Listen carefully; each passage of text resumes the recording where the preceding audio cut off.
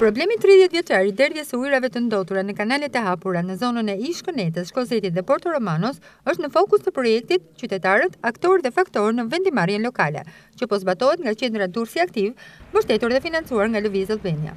Në këtë kuadër, drejtuesi ekzekutiv, Klaudio Hyseni, thotë për Adrianet se nga fillimi i muajit tetor ka nisur mbledhja e firmave të banorëve dhe qytetarëve durrsakë me qëllim marrjen e masave të menjëhershme për rehabilitimin e kanalit që përshkon këto zona. Kemi filluar të mbledhim firma për marrjen e masave urgjente nga Bashkia e Durrësit për rehabilitimin e kanalit që përshkon Shkozetin, ish Kënetën dhe Porto Romanon. Kjo po bëhet në bashkëpunim me banorët e kësaj zone dhe qytetarët e ndryshëm të qytetit të Durrësit. Ligji përkatës në nenin numër pesë përcakton se Bashkia është autoriteti kryesor përgjegjës për shërbimet e menaxhimit të mbetjeve në hapësirën që ka në juridiksion.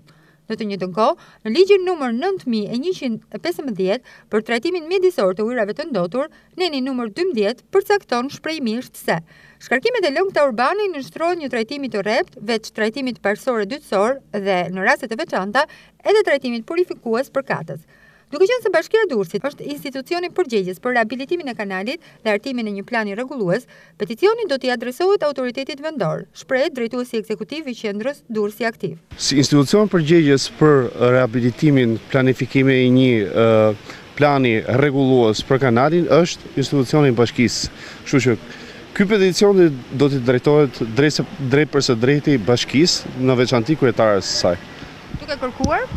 Rehabilitimin e kanalit, rregullimin e zonës, kthimin në një vend të gjelbëruar të kanalit dhe mbulimin e kanalit me me infrastrukturën përkatëse dhe në qoftë se do ishte e mundur dhe depurimi i ujit, pra kthimi i ujit të ujërave të zeza në ujëra të përdorshme. Mungesa e kanalizimeve të ujërave të zeza është një problem i trashëguar me të cilin përballen prej rreth tridhjetë vitesh banorët e zonave të Shkozetit, ish Kënetës dhe Porto Romanos në Durrës. Pavarësisht se gjendja është kritike, institucionet heshtin përballë situatës së krijuar.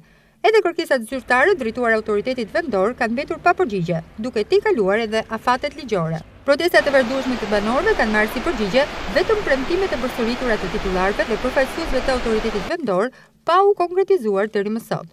Qendra Durrësi Aktiv vijon zbatimin e projektit Qytetarët e Durrësit aktorë dhe faktorë në vendimmarrjen lokale, me qëllimin kryesor që të adresojë tek pushteti vendor, përmes aktivizimit qytetar, problemin e derdhjes së ujërave të ndotur në kanalet e hapura në zonat e ish Kënetës, Shkozetit dhe Porto Romanos, duke synuar edhe ndjekjen e çështjes në rrugë ligjore.